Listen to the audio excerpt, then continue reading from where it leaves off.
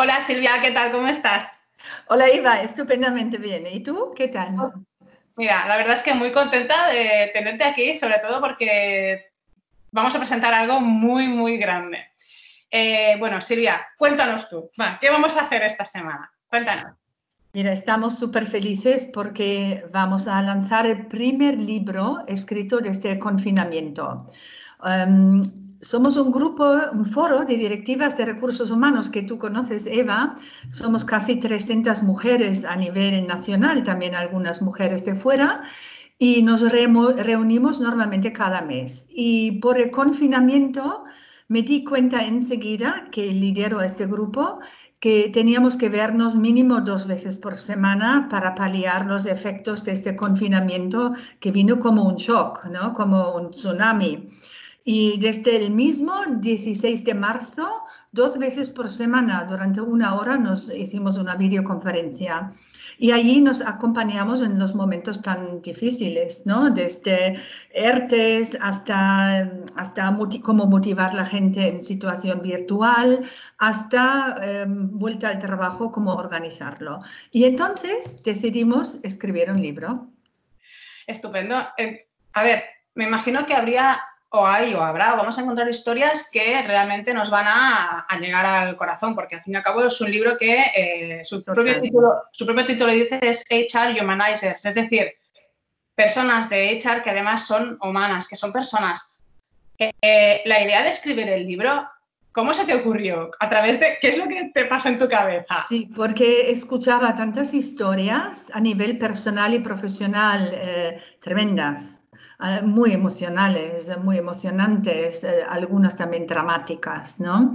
Y entonces un día les dije, oye, ¿por qué no escribimos un libro? De, ¿Por qué no contamos al mundo lo que hemos vivido? Y justamente HR, Departamento de Personas, son claves. Y en estos momentos de confinamiento de COVID se ha elevado a otro nivel recursos humanos, ¿no?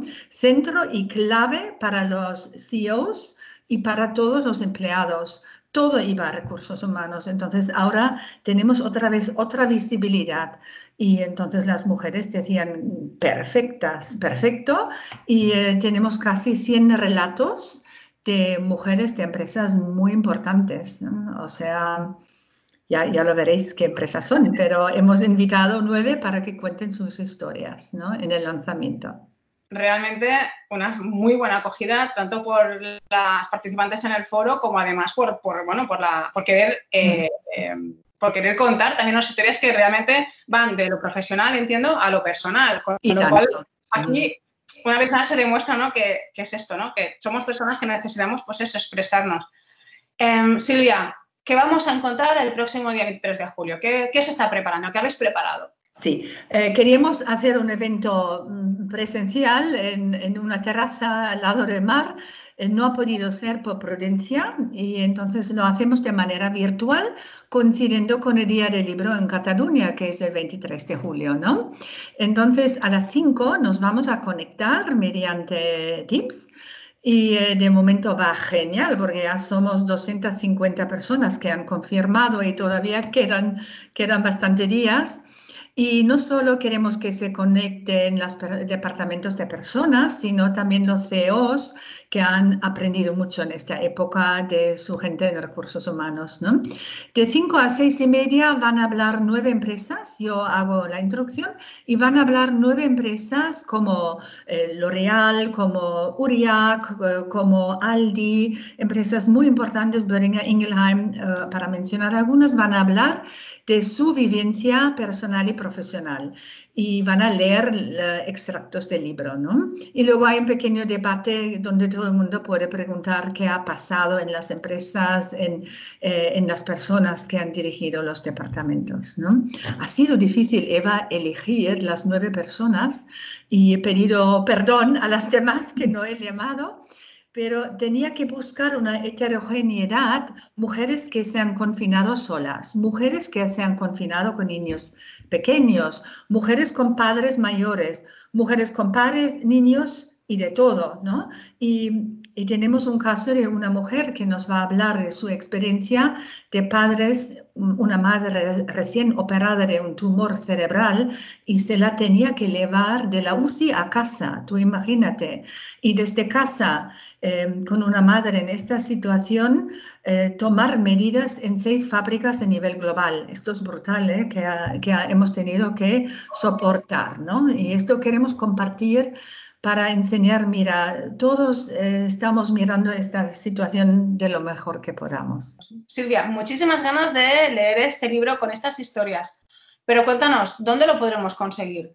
de momento no es un libro de venta Eva, porque lo hemos hecho con gentileza de Penguin Random House.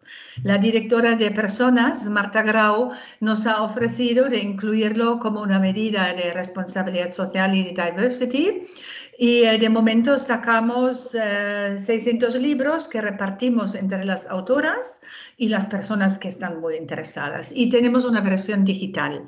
Pero si vemos que tiene mucha acogida, desde luego que vamos a, ponerla a la venta.